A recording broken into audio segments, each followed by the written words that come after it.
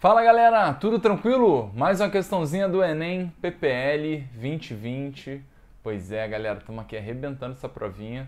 E mais uma questão, hein? Mais uma questão sobre fontes energéticas. Pois é, questão relativamente tranquila, né? Uma das competências clássicas do nosso queridíssimo Enem, que vai estar relacionada aí à análise, interpretação dos gráficos, beleza? Então a gente vai com tudo fazendo aqueles comentários. Sempre bom a gente pô, dar uma relembrada, adicionar algumas situações aí que numa próxima prova, até porque é um tema que o Enem curte muito e pode ser que caia para vocês. E aí a gente arrebenta tudo, galera. Não deixe de se inscrever aí no canal, dê uma força aí, mande comentários, sugestões, pô, vai ser sempre bem-vindo. Valeu? Segue a vinheta.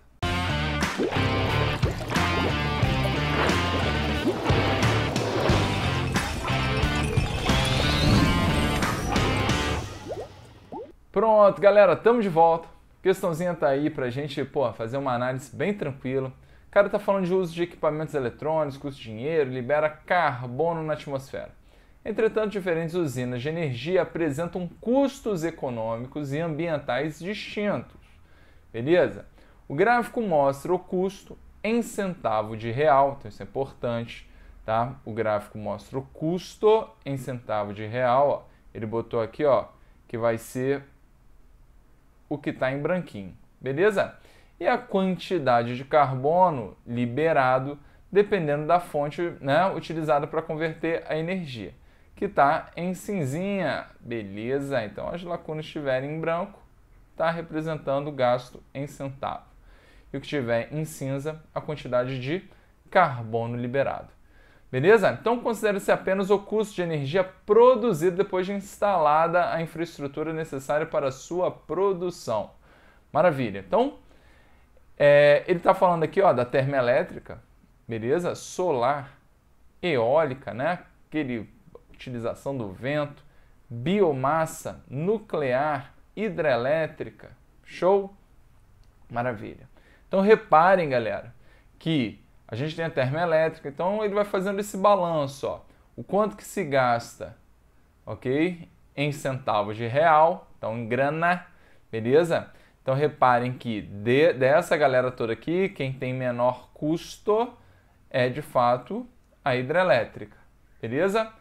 Só que aí a gente tem a questão da relação por liberação de CO2. Olha a quantidade aqui das termoelétricas, né, galera? Termoelétrica é queimar combustível, né? Dependendo de qual termoelétrica for, umas utilizam né, gás natural, outras utilizam pô, carvão, meu irmão, tem de tudo. Maravilha?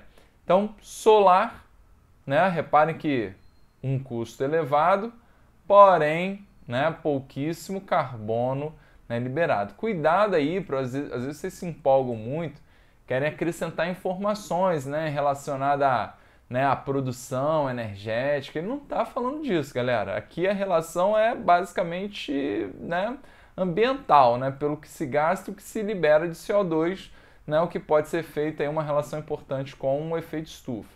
Tranquilo?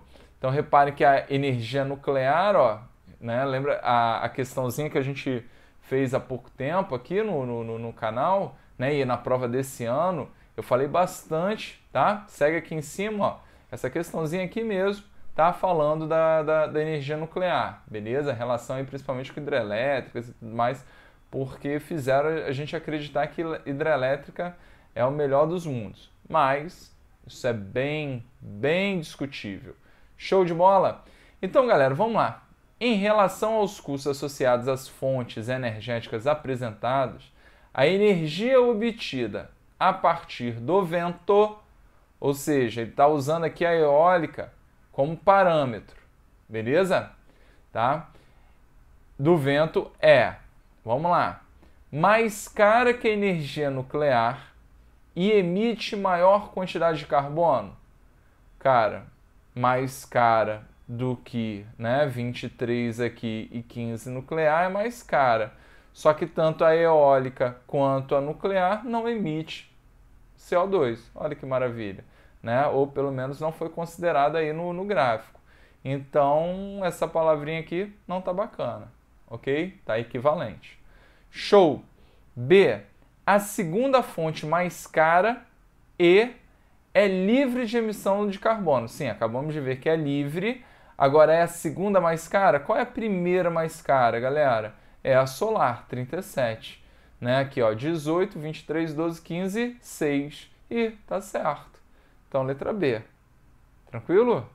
Vamos ver as demais? Sempre importante analisar o porquê das outras estarem erradas. Né? C mais cara que a energia solar. Não, isso aqui já errou, né? 23 e 37, pô, 37 mais caro. Show? Então, tá errado isso aqui. Maravilha. D, mais barata que as demais. Pô, mais barata, a gente viu aqui hidrelétrica, 6 cruzados novos. Então, não tá legal isso aqui. Show. Na E, de helicóptero, a fonte que gera energia mais barata e livre de emissões de carbono, ok?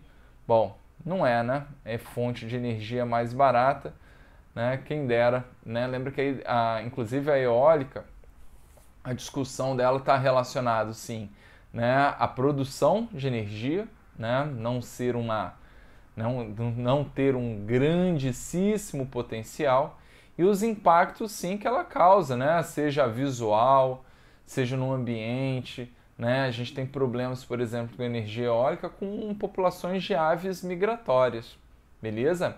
Então tem bastante coisa aí para ser considerado, tá? E por mais que seja limpa, mas também impacta, né, gente? Eu costumo dizer, né? E pô, repito, né? O ser humano, onde o ser humano bota a mãozinha, fi, tem algum impacto, né? Inclusive a gente chama de poluição, tá? Uns poluem mais, outros poluem menos, mas a gente, infelizmente, a gente arrebenta tudo, não tem jeito.